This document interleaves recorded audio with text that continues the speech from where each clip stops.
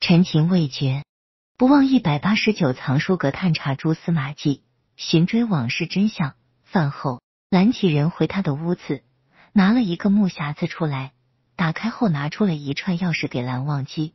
忘机，这是古籍藏书室的钥匙和里面各个密柜的钥匙，你们拿去。谢谢叔父。蓝忘机双手接过钥匙，跟魏无羡一起去楼上藏书阁。望羡两人一打开藏书阁的门，就直接往古籍藏书室走去。那把铜制的钥匙之灯一响，推开门，一阵浓馥的樟木味扑面而来。蓝忘机打开了灯，只见幽静的藏书室里停放着一个又一个的樟木箱子，每个箱子都闪着暗红色的光。蓝忘机找了一块抹布，轻轻的一个一个拭擦，像是爱抚着一个个的亲人。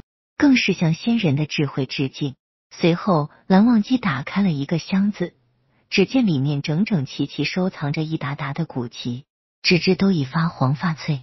蓝湛，这藏书阁的藏书还真是多啊！是，不知传了几代了。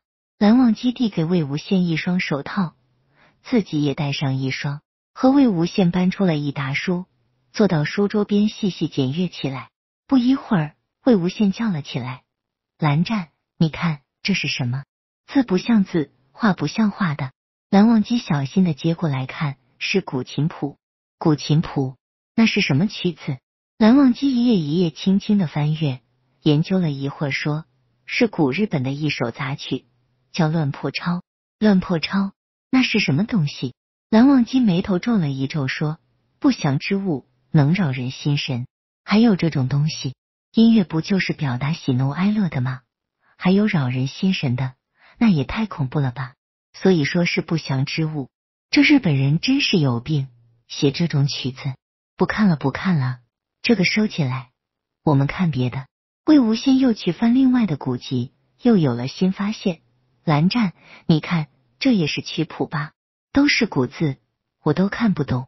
蓝忘机接过来，反复的看了又看，好一会儿说。是喜华和清新音哇，蓝湛，蓝家是音乐世家啊，这都有。我手头的这一本是问灵，问灵什么意思？就是能问到亡灵的意思。音乐问亡灵，魏无羡惊讶道，下巴都快要掉下来了。对，音乐是直达灵魂的东西，音乐问灵从理论上是可以的，但就不知道这首问灵是否真的能问到。也是，但是。即便能问，能演奏的话，我们该是问谁的灵？蓝忘机陷入了深思。是啊，这曲子他学会了，该问谁的灵？这曲谱留着肯定是有深意，这么真而重而藏在古籍的箱子里，肯定不同寻常。这个不是现在需要解决的问题。两人继续寻找别的线索。魏无羡这个法国人对于古文字是半窍不通的，但他的直觉非常的灵光。当他又拿出一本书递给蓝忘机的时候，他委屈的说：“蓝院长，你得教我识字，在这里，我发现自己是个文盲。”蓝忘机拿来看了一下，轻轻念了出来：“蓝氏云深不知处重光记，云深不知处重光，重光。”那意思是不是云深不知处曾被破坏过？对，蓝忘机细细研读了起来。魏无羡没能帮上什么忙。自顾去寻找别的东西。魏无羡这边翻翻，那边找到。忽然，他在一个书箱的角落里发现一个细长的盒子，他拿起来掂了掂，沉甸甸的，有点分量。他拿过来给蓝忘机看。蓝湛，你看这个是什么？蓝忘机拿了过来，翻过来倒过去看了几遍，不知道是什么。而那小盒子的闭合之处，好像有文字的痕迹，似是封印，还有个锁，非常的小。年代久远，都锈住了。蓝忘机不敢乱动，跟魏无羡说：“先放着，这不是现在要找的东西，不要乱动，不可随便开，别弄坏了。”嗯，魏婴这本书记载，云深不知处曾被温氏所焚，后来重建。温氏又是温氏，看来我们蓝家也是跟温家有恩怨。书里面记载，云深不知处曾被温氏焚毁，后来复建。就是现在的云深不知楚国学院，沧海桑田。现在的是遗址重建，当然不会是那个云深不知处。